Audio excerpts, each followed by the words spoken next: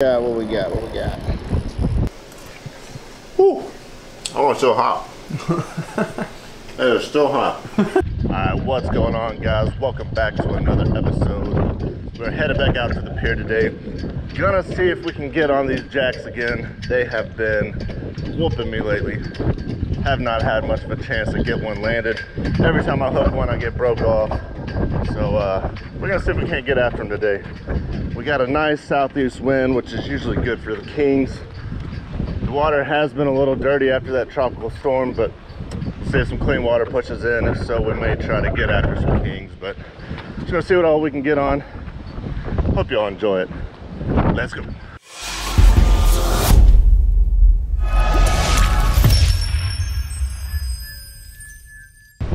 All right, guys, the water is super dirty this morning. I'm sure it's hard to tell right now, but so we're gonna start down here in the shallows, see if we can get some redfish or trout. Got some live shrimp, size 4 J hook here, hook it in the tail. I got eight pound fluorocarbon leader. I just got one little split shot up here. Keep that weight down. See if we can't find something out here this morning.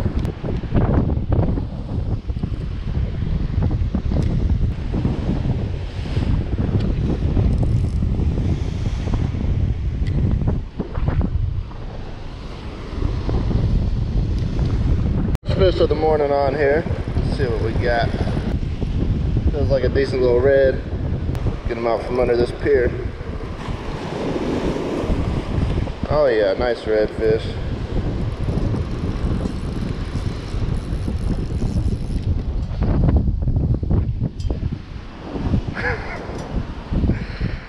hey, Grant was on his way with the net and I decided I was gonna flip him and lost him.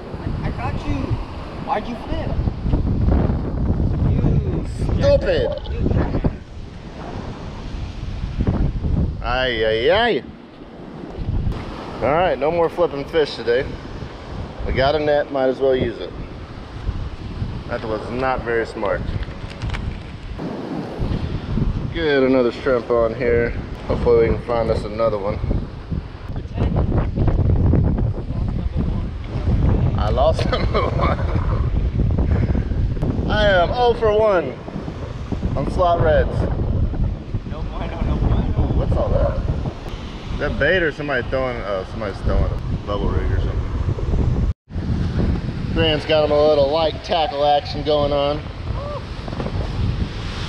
Big rub on the pylon. Big rub. Don't break him. Cat, where's he at? He's so far. Don't let him whoop you. Four pound test. Nice red. Got him. On, on the head. yeah. He may be a tad short there, buddy. He is definitely It's probably about 14 and a half. 15, and a half. 15 and a half. Biggest fish. What you got? Another fish on here, guys. We're not gonna try to flip this one. We're gonna let Grant do his job. Get back over here. Get back over here. Oh, he's running, he's running. Dang it! Don't worry about it, Grant. Broke me off. That was a good fish. Got a red I don't know, never saw it. He was peeling drag. Feeling. Net.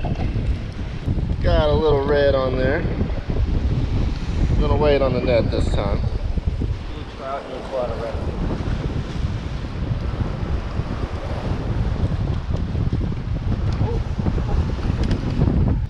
Finally, I get one on the deck. Oh, yeah. Biggest one I've seen all day too. Smaller than the one you caught a minute ago. Pretty fish, guys. Four, five, six, seven spots. All right, let's get a measurement on this guy. 14 and a half. Gotta send him back. Grant trout. First trout of the morning for me. Wait on Grant with the net. He looks like he may be a little small, but we'll see when we get him up here. What do trout gotta be, 15? Heck yeah. Oh yeah. Let's see, I can't remember off the top of my head what the limit on uh, speckled trout is. If y'all don't have the Fish Rules app, you need to get the Fish Rules app. Always knows where you are, tells you the rigs. 15 to 22. I'm almost certain he's 15. Yeah. Let's check him on Grant's cart. He is right at 16 inches. Heck yeah, guys. We are going to get this one in the cooler. Take him to the house. We're going to fry this puppy up tonight. Alrighty, guys. Let's see what we got this time. What we got? What we got? What we got? Come on, baby. Get back over here. That'll be easy with them Don't want to lose another one. This one is probably a redfish. Easy does it. Filled out a lot of line. And fill it on a piling too. Hey, this might not be a flat red. Thing has been running for sure. He's all the way on the other side of the pier. He ran underneath and out the other side. I filled my line on a piling. I'm not sure what we got. If it is a red, it's definitely a upper slot.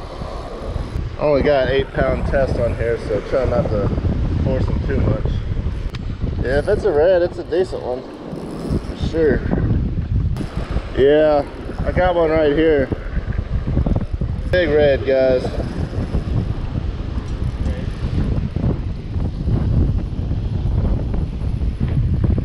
Don't do it. Come on, buddy. Oh yeah, there he is. Nice red.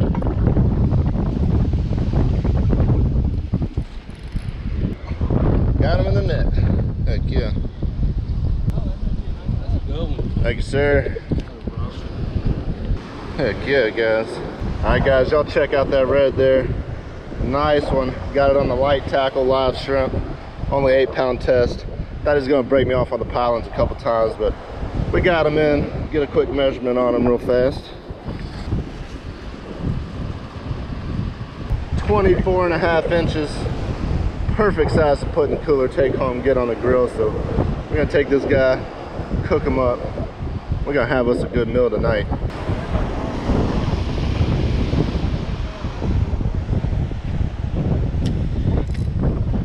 Fish on. Oh, little whiting. Nice, nice. A little small. Little small. These whiting are really good to eat, but we're gonna send him on his way. A little small for the fry. All right, guys, we're back at the house, about to clean up these fish, take them in the house and cook them. Gonna show you real quick how we clean them. So we got the red fish and the speckled trout. Go ahead and get them out. Now, if you've never cleaned redfish, they can be a bit difficult. These redfish do have big scales, so I like to use this serrated knife. That's just gonna help kind of cut through those scales, makes it a whole lot easier. You start up here by the head, make a first little cut right behind that fin, and I like to spin it around. We're gonna work our way down the spine here, or the backbone. The scales really get in the way here.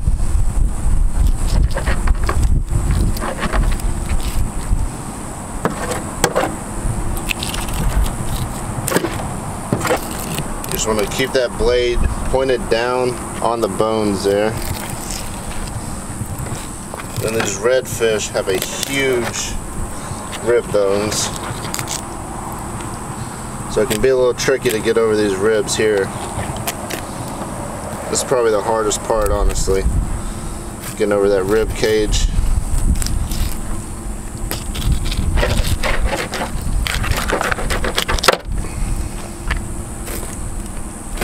I'll see those rib bones right there.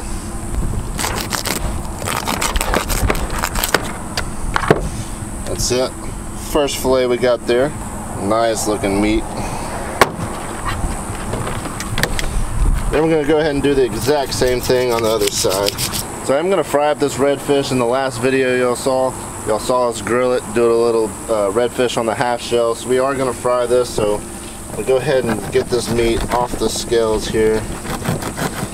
Just want to pinch that tail This is much easier with the regular fillet knife versus the serrated, but that is all I got with me right now, so just gonna cut that meat right off the skin. Go, got the skin there. I did cut around those rib bones, which would be here. If you end up cutting through them, you can cut those rib bones out too. And then they got some pin bones that run right here in the middle. So we're gonna make sure we get those bones out there.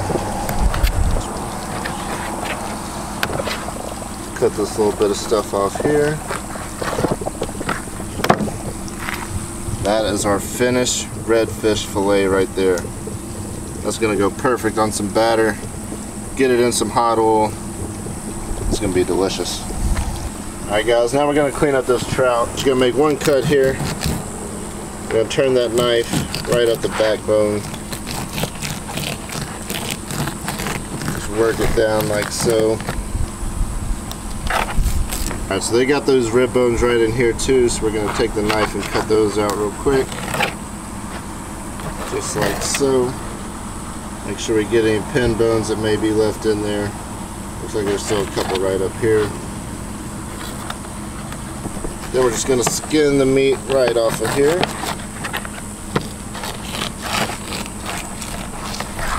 These are gonna be delicious in the fryer. If you've never had fried speckled trout, it is good. So that's how we're gonna try it this evening. Cut the bones out of this one. Not the prettiest looking fillets I've ever had. Did something with my fillet knife, I cannot find it, so I'm stuck with is this serrated, but still gets the job done. We're gonna rinse these off, get them in the house. We're gonna soak them in milk for a minute, get them in some uh, breading.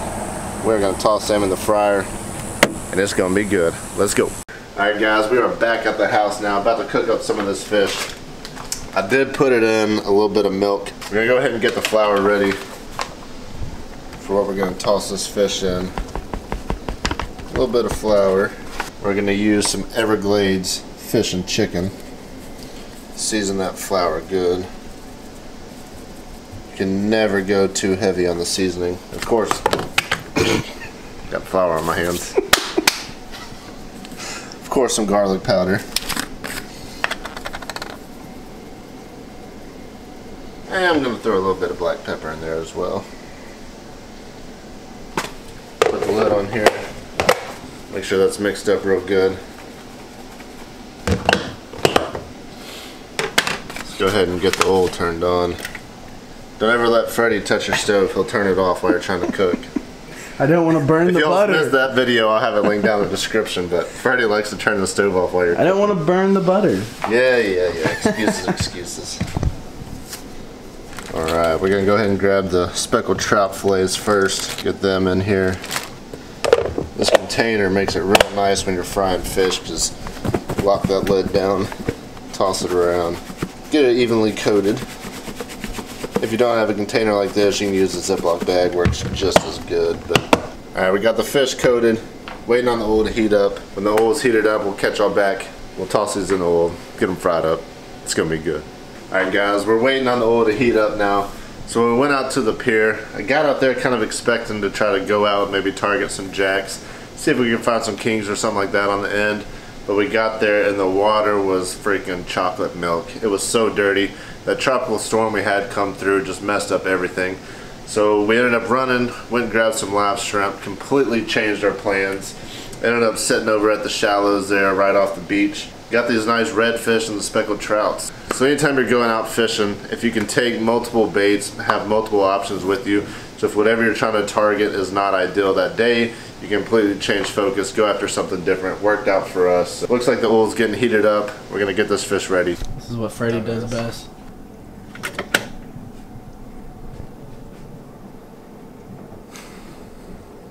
Alright guys, oil is hot now. I'm gonna go ahead and get this trout in the grease. We're gonna get the redfish over here. Toss it in there. Alright, these pieces of redfish are pretty big, so I'm actually gonna go ahead and cut them up. Give them something a little smaller to work with here.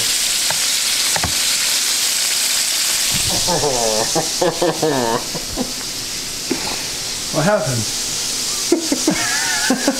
Put the knife in the sink, blade up, wash my hands, flick the water off, slid my finger right into the Aw, freaking man. knife. Right, wrap it up. Alright, put the lid on here with this fish. A little shake and bake. Ricky Bobby!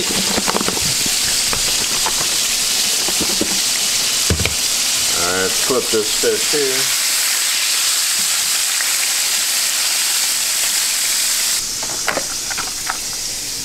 Avengers Band-Aids. For superheroes. That's what we're superheroes. Alright. Give this fish another little flip. What's your favorite way to do speckled trout? Fried, for sure. You should Yeah. do that. I've not cooked a whole lot of speckled trout, but definitely fried. I, I think that's the only way I've ever actually even had it. Was fried. I wonder how blackened would be. I'm sure it's pretty good. Yeah. The only thing with speckled trout, it is, it's not mushy, um, but it is definitely a softer meat. Um, so I don't know how well it hold up. At least once you get the batter and everything on there, it does pretty well fried. But I don't know. Y'all comment down below. Let me know your favorite way to cook speckled trout. We'll get these out here. And in goes the. Redfish. All right. This is gonna be good.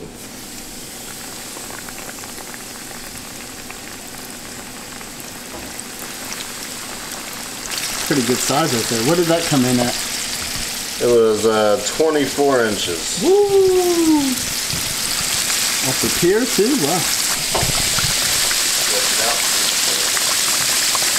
Alright, redfish is definitely done here. Get these out of the fryer. They're looking good. Alright, so we got the redfish here, speckled trout here. Gonna let them cool off just a minute. We're gonna try them, see which one's better. Y'all comment down below, let me know. Do you like redfish or speckled trout better? We're about to find out which one we like. Alright guys, fish is done. We are gonna see which one tastes better. We're gonna try the speckled trout first. Wow, that's a big piece. Try the speckled trout. That was good. Super flaky. Honestly, I probably could have put a little more seasoning in the uh, flour there, but it is a good fish. Definitely a nice, mild, white meat fish. Speckled trout, some good stuff. Jump on over to this red fish real quick.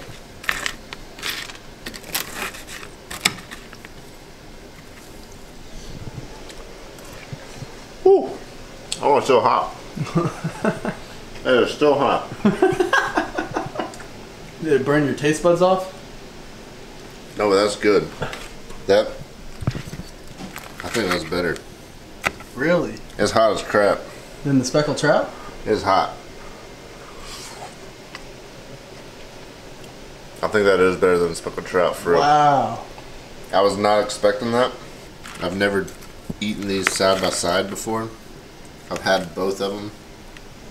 I don't think I've ever had redfish fried though. I'm gonna try a speckled trout again, make sure. Meat is white. They're both so good though. I choose redfish. Let's see what Freddie wow. thinks. I'm gonna Alright, with Freddie's gonna give it a try here. Do the speckled trout first.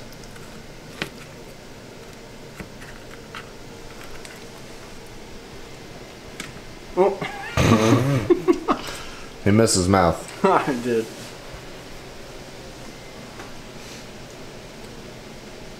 What do you think about the seasoning? The seasoning is Could have good, been more. but the flour is a little bit extreme. Could have been well. Could yeah. could have been, a little bit more in the seasoning. yeah, in the Yeah. flour. Could have been a little bit more. Other than that, that's my first time trout, trying speckled trout, and that's Yeah. freaking good. But let's see what the hype is about this redfish real quick.